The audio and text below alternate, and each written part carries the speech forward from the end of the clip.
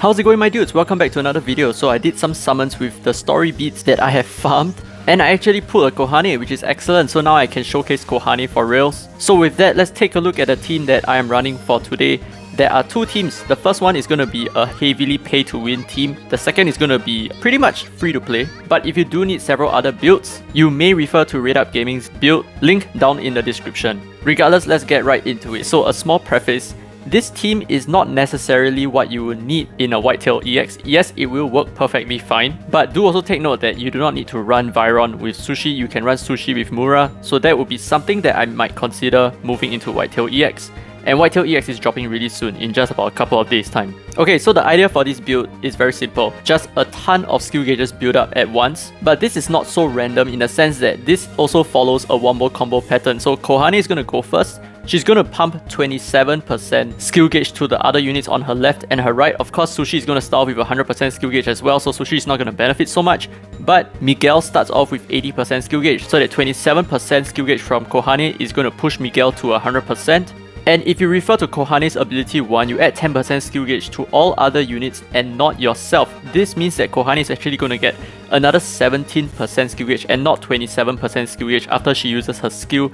And this 17% is going to allow Miguel to continuously keep up with Kohane in terms of skill gauge. So Miguel is not going to be falling behind, so what you notice is that the wombo combo works very nicely for at least the first 3 times that this wombo combo runs its course, but afterwards it still works just that it runs slightly different. Basically just a little bit slower. And of course Phiria's use over here, not just for healing, right? She also grants Levitate and at the same time increase the attack for wind type units during levitation. So this comp is extremely strong because Phiria and Vyron make a very very good combo in terms of cleaning up. So what you see is after Sushi uses his skill, the boss usually has a little bit of HP because we're going to test this out on a kaleidoscope, right? So the boss is going to have a little bit of HP and Vyron and Phiria makes for a very good cleanup crew.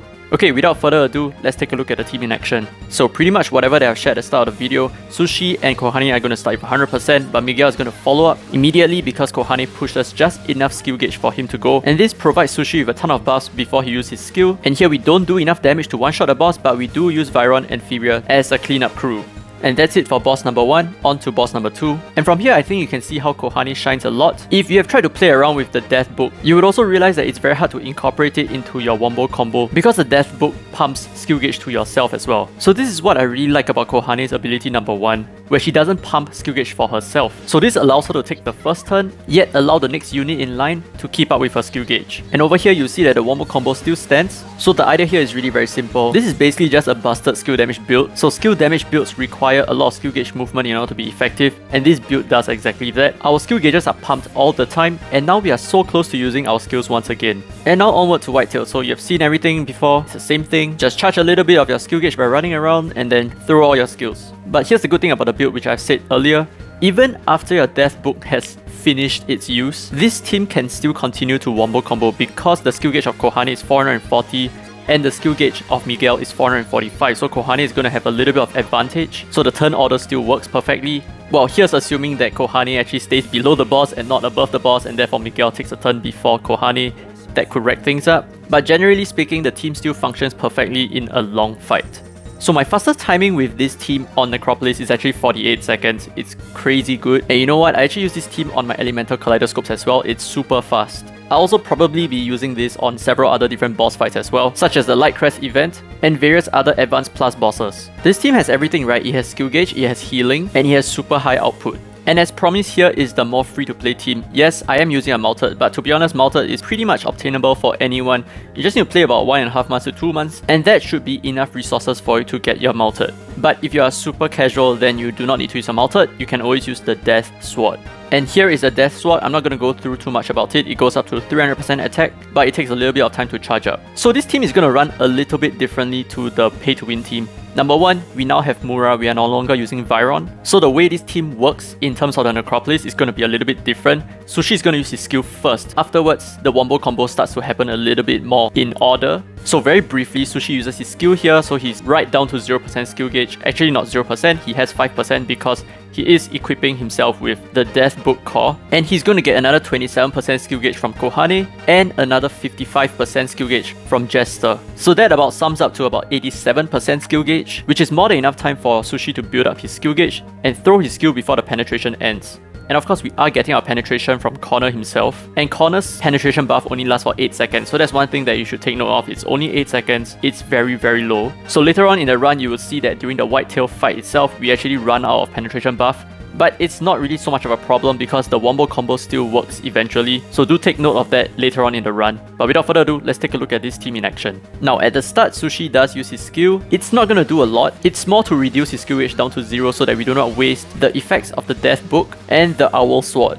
So you can see that our Sushi is ready to go really soon. And he's gonna be able to one-shot the boss over here regardless. So yeah, 8 seconds on the first boss. And now moving on to the second boss. Now this wombo combo only works up to 3 times because after that Sushi is no longer gonna make it in time for the penetration buff. But it's only going to fail for that one time and after that the wombo combo suddenly works again. It's pretty much magic. But you will see this in the whitetail fight. So just pay attention to the penetration buff that we're going to receive over here. Sushi is going to make it on time. And this will be the second time that we achieve our wombo combo. So all should work as intended so unlike the first boss fight where we had a double cast of Sushi's skill, we do not have a double cast over here and neither do we have Vyron and Phiria to do a little bit of cleaning up for us. So unfortunately, this is where we waste a lot of time where we have to charge up our skills again and use our wombo combo just to beat this boss. So we are actually moving into the whitetail fight without our wombo combo. But here's the thing, right? If you're facing one single boss, let's say a whitetail EX, but you can throw 4 Sushi skill in such quick succession, then the team is actually pretty powerful. Anyway, let's see what happens when our wombo combo starts to fail which you will see in this whitetail fight. As you can see, our skill gauges are slightly lower than usual. That's because our Death Book has run its course and our Owl Sword has also run its course. So there's very little skill gauge building up over here. But maybe another reason why I like Conner for this team is because he can penetrate through all the gut beasts and get you to the boss immediately. But okay, so now pay attention to the penetration buff. It only lasts 8 seconds, unfortunately. We do not immediately follow up with a Jester, so there's some time wasted over there. And all that kind of adds up, so you'll see that we are going to run out of penetration a split second before Sushi uses his skill.